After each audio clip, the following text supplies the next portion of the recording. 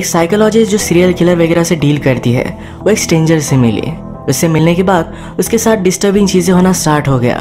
अब इस सब के पीछे कौन है? ये आज की हमारी movie never talk to stranger in 1995 की एक साइकोलॉजिकल थ्रिलर मूवी में हमें पता चलेगा। ये मूवी अलग अलग ट्विस्ट एंड टर्न्स लेकर आती है। एंडिंग भी ट्विस्टेड है तो अंदर इस वीडियो को ज़रूर देखिएगा।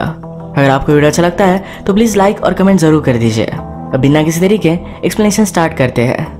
मूवी स्टार्ट होती है और हमारी मेन कैरेक्टर सारा जो एक साइकोलॉजिस्ट है, एक सीरियल किलर के साथ बात कर रही थी। सारा ने कहा, तुम्हें एक टीनेजर ने मर्डर करते हुए देखा था। किलर कहता है कि वो एक प्रोस्टिट्यूट है। वो पैसों के लिए कुछ भी बोल देगी। सब मिलकर मुझे फंसाने की कोशिश कर रहे हैं। सारा यहाँ किलर की मेंटल स्टेट एसेस करने के लिए आई हुई थी। उसे लगता है कि किलर को मल्टीपल पर्सनैलिटी डिसऑर्डर की बीमारी है।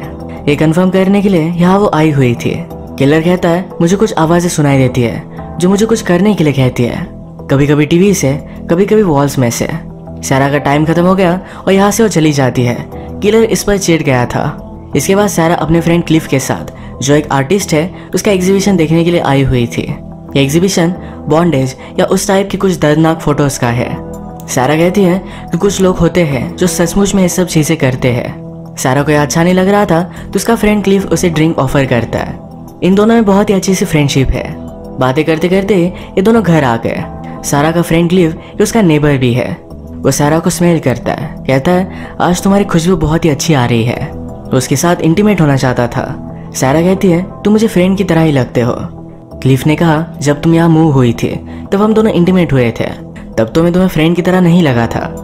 सारा ने डोर बंद कर कर इस बात को टाल दिया। इसके बाद नेक्स्ट सीन में किलर का लॉयर सारा के पास आया हुआ था। सारा ने अब तक किलर के बारे में जजमेंट दिया नहीं है तो इस वजह से उसका लॉयर बहुत ही गुस्सा था। सारा अपने आप को एक्सप्लेन करते हुए कहती है ये शायद उसे भूलने की बीमारी है, या उसे मल्टीपल पर्सनैलिटी डिसऑर्डर भी हो सकता है। जब तक मैं श्योर नहीं, तब तक मैं कोई भी जजमेंट नहीं देने वाली। इस किलर ने लड़कियों को मारने से पहले उनका रेप भी किया था। किलर के लॉयर को लगता है कि सारा एक वुमन है तो ये बात उसके लिए शायद पर्सनल हो सकती है। इसी वजह से वो किलर को ज़्यादा से ज़्यादा सजा दिलवाना चाहती है। वो गुस्से में यहाँ से चला गया। रात में सारा अपने लिए ड्रिंक बाय करने के लिए आई हुई थी। उसने एक बॉटल ली, तभी स्ट्रेंजर ने उससे कहा कि सही चॉइस नहीं है। इसके अलावा तुम कुछ और ट्राई करो। इन दोनों को ड्रिंक्स के बारे में बहुत ही ज़्यादा नॉलेज था। स्ट्रेंजर ने उसे ड्रिंक के लिए बुलाया। सारा कहती है, मैं तुम्हें जानती भी नहीं। वो अपने आप को इंट्रोड्यूस कराता है। उसका नाम था टोनी सारा उसे इग्नोर कर देती है। थोड़ी देर में उसे इसी शॉप में मिलता है। टोनी कहता है, पहचाना, मेरा नाम टोनी हम मेन सेक्शन में मिले थे। टोनी ने कहा कि मैं यूजुअली ऐसा कुछ भी करता नहीं, पर इस टाउन में मैं नया हूँ और मुझे फ्रेंड्स की ज़रूरत है। सारा कहती है तो किसी और को फ्रेंड बना लो। टोनी ने कहा कि मैं एडमिट करता हूँ। तुम मुझे बहुत ही ज़्यादा अट्रैक्टिव लगती हो। अगर तुम्हें लगता है, मुझे तुमसे बात नहीं करनी चाहिए, या मैं कोई लिमिट क्रॉस कर रहा हूँ तो वैसा मुझे बता दो, मैं यहाँ से चला जाऊँगा। पर सारा ने ऐसा कुछ भी नहीं कहा। सारा पूछती है, तुम्हारे पास की वाइन की शेयर की है? कहता है कि सिक्सटी वन की। सारा पूछती है, क्या तुम्हें लगता है, क्या एक वाइन से तुम मुझे इम्प्रेस कर सकते हो?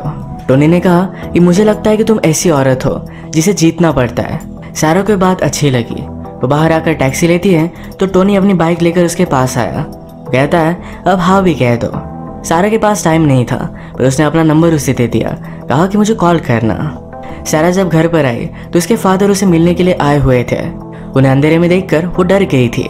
सारा के अपने फादर के साथ रिलेशनशिप अच्छे नहीं है। उन्हें फादर भी नहीं बुलाती फादर चाहते थे कि आज रात वो यही रुके, पर सारा उन्हें मना कर देती है। फादर को एक बड़ी बीमारी है तो उन्होंने कहा कि मैं ज़्यादा टाइम तक ज़िंदा नहीं रहूँगा। हमें एक दूसरे के साथ टाइम स्पेंड करना चाहिए, जैसे कि क्रिसमस सारा कहती है कि हम क्रिसमस में मिल सकते हैं, पर प्लीज़ पहले मुझे कॉल कीजिएगा। उसने फादर को मोटेल के लिए पैसे दे दिए और वहाँ से निकाल दिया। रात में सारा का नेबर उसके पास आया। वो एक लड़की के साथ था तो उसे वॉट का चाहिए था। सारा कहती कि मेरे पास नहीं है। नेबर कहता है, मैंने तो तुम्हारी फ्रिज में देखा था। वो खुद गया और लेकर आया। सारा इस बात से सरप्राइज़ थे। ये बहुत ही अच्छी डिटेल है, जिसे आप याद रखिए। मूवी के लास्ट में सब कुछ क्लियर होगा। एग्ज़ाम ऑनलाइन है तो उसमें भी आ सकता है। नेबर घर में ही था, तभी सारा को टोनी का कॉल आया। उसे अपना पता देकर सारा को वहाँ बुलाया। सारा का नेबर इसके बारे में उसे पूछ रहा था। सारा फिर टोनी से मिलने के लिए उसकी पुरानी सी बिल्डिंग में पहुँची। टोनी ड्रिंक लेकर रेडी ही था। सारा ने कहा, तुम मेरे लिए बहुत ही बुरे हो। सब कुछ सही चल रहा था और नेक्स्ट सेकंड में मैं एक स्ट्रेंजर के साथ ड्रिंक कर रही हूँ। इसके बाद इन दोनों ने बहुत सारी बातें की। सारा अपने एक्स बॉयफ्रेंड के बारे में टोनी को बताती है। कहती है कि वो अचानक से गायब हो गया। उसने कोई भी लेटर नहीं छोड़ा, कोई भी कांटेक्ट नहीं किया। वो अभी भी उस पर बहुत ही ज़्यादा गुस्सा है। सारा के नेबर का मानना था कि अब एक साल हो चुका है, उसे मूव ऑन करना चाहिए। अब यही करने की कोशिश वो टोनी के साथ कर रही है। सारा पूछती है, तुम करते क्या हो? वो कहता है कि मैं सिक्योरिटी कंसल्टेंट हूँ। सारा ने कहा, तुम्हारे साथ होते वक्त मुझे बहुत ही सेफ़ लगता है। आगे सारा अपने बचपन के बारे में बताती है। उसने कहा कि जब वो छोटी थी, तभी उसकी मदर की कार एक्सीडेंट में डेथ हो गई थी। उसके फादर का सेल्स का जॉब था तो हमेशा घूमते रहते थे। वो अपने एंड के पास ही बड़ी हुई है। ये सब बातें कर कर सारा को एम्बेरस लगा। टोनी कहता है, तुम्हें कंट्रोल में ना होना, इन सब चीज़ों के बारे में बात करना, ये सब सूट करता है। इसके बाद इन दोनों ने एक दूसरे को किस किया और एक दूसरे की बाहों में ही सो गए। सुबह होने पर एक दूसरे के साथ इंटीमेट हो जाते हैं। इसके बाद नेक्स्ट सीन में सारा फिर से किलर के पास आई हुई थी। वो उसे पूछती है कि लास्ट सेशन में तुम आवाज़ों के बारे में बात कर रहे थे? इस बार किलर ने कहा कि, मुझे कोई भी आवाज़ें सुनाई नहीं देती। वो कहता है, तुम मुझे फ्रेम करना चाहते हो। तुम अपनी साइड चूज़ कर लो। एक तो तुम मेरे साइड पर हो, या मेरे खिलाफ। यहाँ पर वो बहुत ही गुस्सा हो गया था। इनडायरेक्टली उसे धमकी दे रहा था। आज सारा जब घर पर पहुँचे तो उसके घर पर मुरझाए हुए फूलों का गिफ्ट भेजा हुआ था। इस बात से वो डिस्टर्ब हो गई रात में सारा और टोनी फिर से मिले। टोनी सारा के लिए शूटिंग का गेम खेलकर उसे जिराफ गिफ्ट देता है। सारा पूछती है, तुम्हारी इतनी शूटिंग अच्छी कैसी है? वो कहता है कि, मैं पहले पुलिस हुआ करता था। सारा को बात बहुत ही सरप्राइजिंग लगी कि उसने बात उससे छुपाई थी। वो सारा को कहता है, तुम भी शूटिंग ट्राई करो। वो मना कर रही थी, पर फिर भी टोनी ने उसे फोर्स किया। शूटिंग करते वक्त अपने बचपन की याद सारा को आई। अचानक से वो बेहोश हो जाती है। टोनी उसे अपने घर पर लेकर गया था। सुबह होने पर उसके लिए उसने टीवी बनाई। सारा को टोनी के साथ होना अब अचानक से गलत लगता है। उसने कहा कि अब मैं जा रही हूँ। टोनी ने पहचान लिया कि उसे इनडायरेक्टली ब्रेकअप कर रही है। उस पर चिढ़ गया कि मैं करती क्या हो। हमेशा मेरे साथ पुश पुल पुश पुल खेलती रहती हो। इन दोनों की फाइट होगी और सारा यहाँ से चली जाती है। थोड़ी देर में सारा ने अपना माइंड चेंज कर लिया। वो फिर से टोनी के पास वापस आए। ये दोनों इंटीमेट हो जाते हैं। घर आने पर सारा को एक नोट मिला।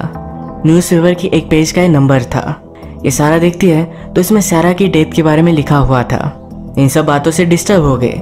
उसे लगा कि किलर ही ये सब करवा रहा है। जाकर वो किलर के लॉयर से बात करती है। वो कहती है, तुम मिलकर मेरी हरासमेंट क्यों कर रहे हो? लॉयर कहता है, इसमें मेरा कोई भी हाथ नहीं है। अगर किलर ने ऐसा किया होता तो उसने मुझे बता दिया होता। सारा कहती है उसे मल्टीपल पर्सनैलिटी डिसऑर्डर है।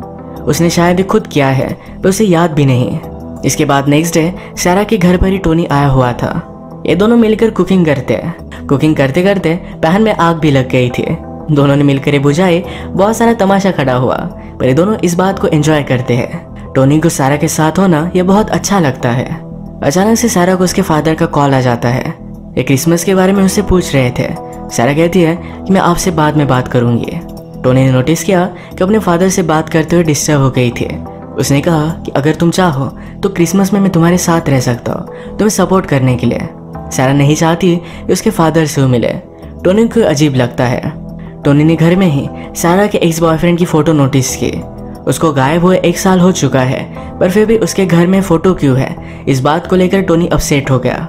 सारा कहती है, इस फ़ोटो को रखना मैं भूल गई थी। इन छोटी छोटी बातों को लेकर तुम उसे फाइट मत करो। टोनी भी इस बात को इग्नोर कर देता है। अगले दिन जब सारा फिर से काम से वापस आए तो उसकी कैट को मारकर उसे गिफ्ट कर दिया गया था। इस बात से वो बहुत ही ज़्यादा डर गए और पुलिस के पास जाते हैं।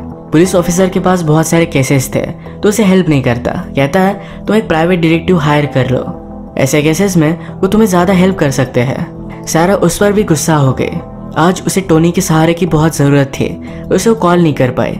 क्योंकि वो आउट ऑफ़ टाउन था। मॉर्निंग में टोनी सारा के घर पर आया। पर सारा कहती है, अब बात करने के लिए अच्छी टाइमिंग नहीं है। उसे वहाँ से कटाना चाहती थी। टोनी मानता नहीं और घर में आ जाता है। घर में ऑलरेडी सारा का नेबर था। वो गुस्सा होकर पूछता है कि ये क्या यहाँ कर रहा है? सारा ने कल रात के बारे में उसे सब कुछ बताया। कहती है कि एज अ फ्रेंड मेरे पास आया हुआ था। टोनी गुस्सा होकर नेबर को वहाँ से निकाल देता है। सारा टोनी पर अब भी ट्रस्ट नहीं करती। उसे लगता है कि क्या टोनी ने उसे भेजी उसे फूलों के बारे में भी वही लग रहा था। टोनी ने बात पहचान ली, उसे कन्फर्म करता है। सारा उसके बारे में ऐसा सोचती है तो उसे बहुत ही बुरा लगा। कहता है, शायद तुम मुझ पर ट्रस्ट कर पाती है। हर्ट होकर वहाँ से वो चला गया। नेक्स्ट सीन में हम देखते हैं, सारा ने प्राइवेट इन्वेस्टिगेटर हायर कर लिया है। वो इसकी हेल्प से टोनी पर नज़र रखेगी।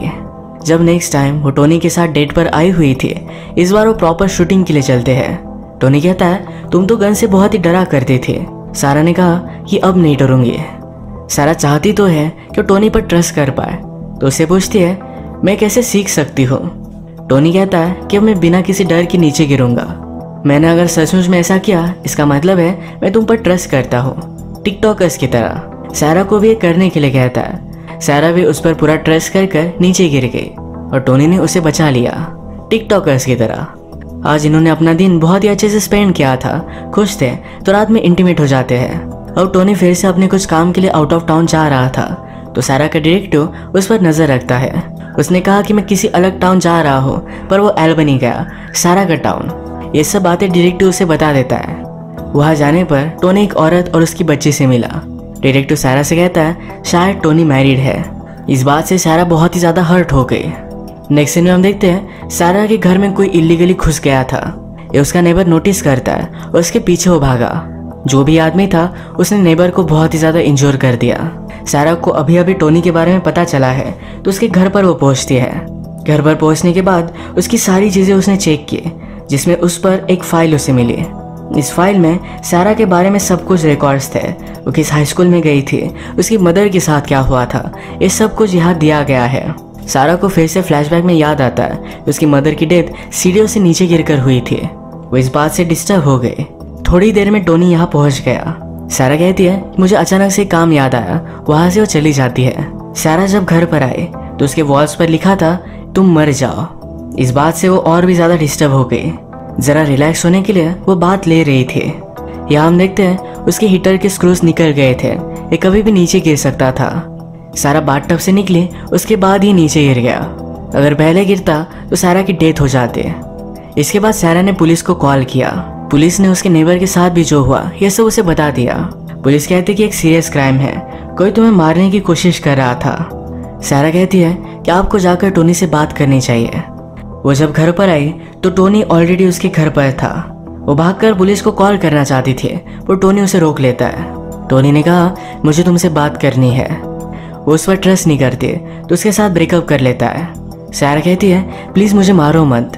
वो डर गई थी। वो अपने पर्स के पास गए टोनी को लगा कि वो गन निकाल रही है तो टोनी ने अपनी गन भी निकाल ली।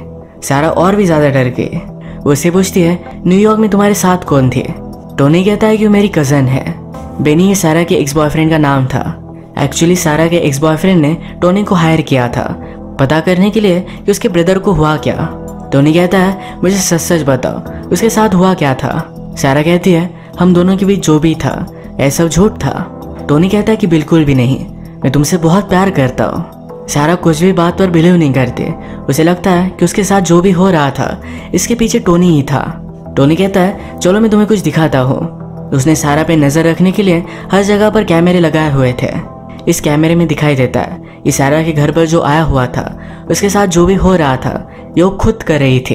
एक्चुअली इसे मल्टीपल पर्सनैलिटी डिसऑर्डर है। इसका मतलब है, अचानक से उसकी पर्सनैलिटी चेंज हो जाती है। इस चेंज के टाइम में वो जो भी करती है, उसे खुद को पता नहीं होता। ये बात जानकर सारा बहुत ही ज़्यादा डिस्टर्ब हो गए। तभी उसके फादर उसे विज़िट करने के लिए आ गए। उनके शूज़ की आवाज़ को सुनकर उसे अपना पास्ट याद आया। एक्चुअली सारा के फादर ने ही उसकी मदर को मार डाला था। फिर उन्होंने सारा को गन दी थी। कहा कि फादर को हेल्प करो। सारा को ट्रिगर पुल करने में हेल्प किए। पुलिस को लगा था, ये सिर्फ़ एक एक्सीडेंट है। ये सब याद करके सारा को चक्कर आ गई। उठने पर अपनी मदर के बारे में बात कर रहे थे। उसके फादर कहते हैं, वो सिर्फ़ एक एक्सीडेंट था। सारा कहती कि अब मुझे सब कुछ याद है। तुमने ही मेरी मदर का मर्डर किया था। हर रात मेरे कमरे में आकर तुम मुझे अब्यूज किया करते थे। इसी वजह से मेरी आंट मुझे उसके साथ लेकर गई। वो चिढ़ गई थी। तो उसने अपनी गन निकाली। टोनी उसे शांत रहने के लिए कहता है। उसने कहा, मैं अपनी गन ग्राउंड पर रख रहा हूँ। तुम भी ऐसा ही करो। टोनी ने गन रखी और सारा उसे शूट कर देती है। उसकी पर्सनैलिटी अब चेंज हो गई थी। उसने कहा, तुम्हें जानना था ना कि बेनी के साथ क्या हुआ है? मैंने उसे मार डाला था। वो भी तुम्हारी तरह ही मुझसे झूठ कहता था। अपनी फादर की वजह से हर आदमी को हेट करती है। इसके बाद उसने फादर को भी मार डाला। जल्दी से सारा घर वो क्लीन कर देती है। अपने खिलाफ कोई भी सबूत नहीं रखती। अपने आप से कहती है, तुम्हें इसके बारे में कुछ भी याद नहीं रहेगा। वो घर के बाहर गए और उसके बाद उसकी नॉर्मल की पर्सनैलिटी फिर से उसके पास वापस आई। उसे लगता है ये टोनी और उसके फादर ने एक दूसरे को मार डाला। यही बात वो पुलिस से भी कहती है। पुलिस को यह सब सच लगा और उसे छोड़ देते हैं। इसके बाद नेक्स्ट सीन में सारा मल्टीपल पर्सनैलिटी पर एक लेक्चर दे रही थी। वो कहती कि जब भी बचपन में बहुत बड़ा ड्रामा हो गया हो, इस बात को छोटे बच्चे हैंडल नहीं कर पाते। इसे कोप करने के लिए खुद ही अलग अलग पर्सनैलिटी बना लेते हैं। यही सारा ने भी अपने साथ किया था। उसे इसके बारे में पता भी नहीं है। मूवी के लास्ट में, अब वो अपने नेबर के साथ रिलेशनशिप में है। इसी तरीके से, ये मूवी हमें गेस करता हुआ छोड़कर चली जाती है। ये मूवी एक बहुत ही डेंजरस कैरेक्टर की ग्लिम्स थी। मूवी में हमने देखा था कि सारा के फ्रिज में अल्कोहल थी, उसे पता भी नहीं था। इसका रीज़न यही है कि उसे मल्टीपल पर्सनैलिटी डिसऑर्डर है। इसी पॉइंट के साथ आज का वीडियो हम खत्म करते हैं।